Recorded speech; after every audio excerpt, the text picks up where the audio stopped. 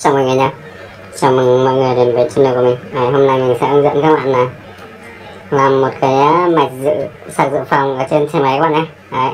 Cái này rất là cần thiết để cho các bạn lúc uh, mất điện hoặc là lúc ờ, uh, hai bạn nào hay đi tour hay đi phượt đấy các bạn. Đấy Để làm được những điều này chúng ta cần Đây đồng hồ này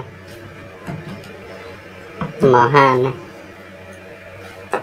Thiết hàn nhựa thông này. Đấy mạch sạc dự phòng hỏng hỏng pin rồi này. Đây. Ở đây mình có hai cái.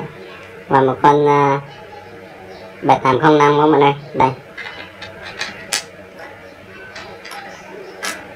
Đó tức là như thế. Cái sạc mà sạc dự phòng này mình dùng một trong hai cái này thôi. Đây mình sẽ dùng cái nhỏ cho nó gọn. Còn cái to này hai phòng này mình sẽ không dùng tới các bạn nhé. Đấy bây giờ sẽ cùng làm các bạn nhé. Đây cái con 7805 này sẽ hàn dây như thế này các bạn dây đỏ nhé. Đây là giới hạn 100 số 1 đây. Các bạn để cái con này ngược lên như thế này xong.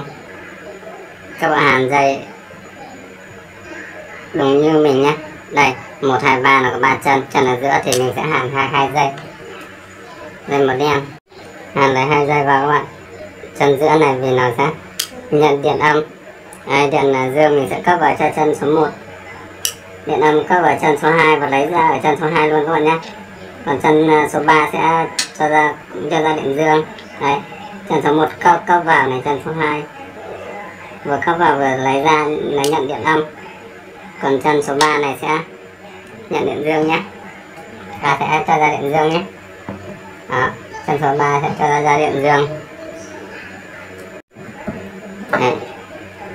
Ghi màu luôn.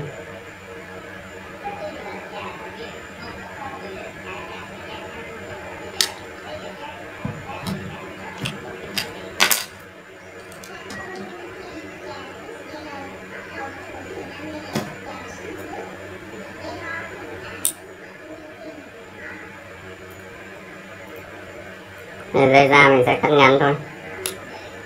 Đó, dây này dây vào. Chỗ này thì nó sẽ đâu có bình ắc quy ở trên xe máy này.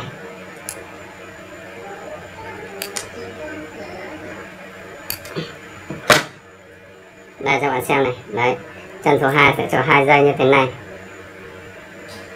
Chân số 3 một dây và chân số 1 một dây. Các hai dây này bằng nhau này thì nó sẽ hàn vào cái mài sạc dự phòng. À, trên mài sạc dự phòng các bạn để ý nhé đây là hai cái chấu để mà hàn pin và đây trước là dùng pin 18650 nhưng mà hư pin rồi các bạn đây. Pin 18650 không của mình hai pin như thế này. Nhưng mà pin này nó hư rồi nha bây giờ mình sẽ tận dụng lại cái mạch này mình chế thành một cái sạc ở trên xe máy. Đấy à, sẽ cho qua con này rồi đi qua con này. Cấp điện 12V các bạn nhé có à, điện 2V vào điện từ bình quyết xe máy đấy. Thế. rồi giờ mình sẽ à, cho ra sạc điện thoại nhé đây bây giờ mình sẽ hàn dây đây, lúc mình bảo này, chân số 3 này, đây.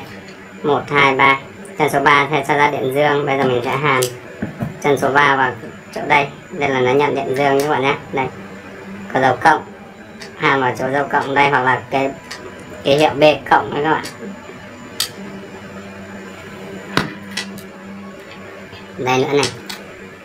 Chân số 2 vừa điện âm đi vào vừa đi ra luôn. Đây. sẽ hàn vào đây.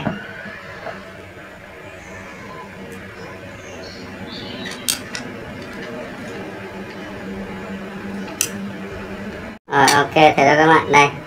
Hai hai cái dây này một dây à, dây đỏ này tất cả dây này. Sẽ cấp uh, à, điện bình nhé các bạn nhé. Bây giờ sẽ kiểm cái bình và test thử thôi các bạn xem có ok không nhá. Đây mình có cái bình như thế này đấy các bạn này. Bình 12V nhé.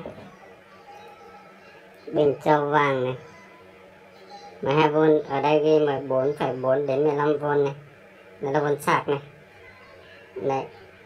Còn đây là cái của nó 13 đến 18 đến là 13,5 đến 13,8 này đấy là điện áp của bình này. Đấy, bây giờ mình sẽ nối đây dây dương của nó này. Nối vào đây các bạn nhé. Mình sẽ nối thôi không hàn trực tiếp lên bình nữa. Còn đây là dây âm.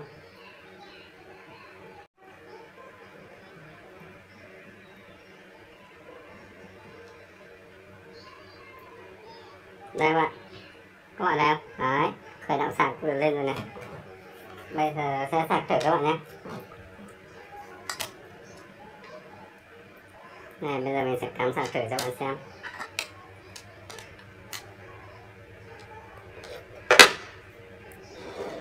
Để cái này ra xa một tí.